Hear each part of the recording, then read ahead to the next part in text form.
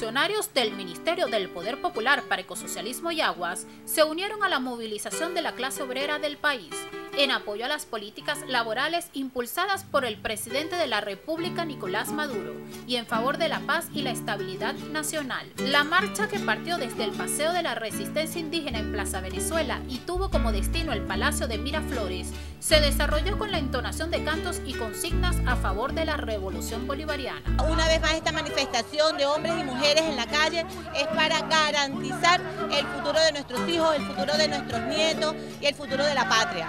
Eso es que cada vez y cada vez y cada vez vamos a decir viva Chávez, viva la revolución y viva el presidente Nicolás Maduro. En estos momentos, una vez va demostrando que ciertamente ese mensaje, ese compromiso, esa tarea dejada por el comandante Chávez, la estamos ejecutando y se mantiene más vigente que nunca.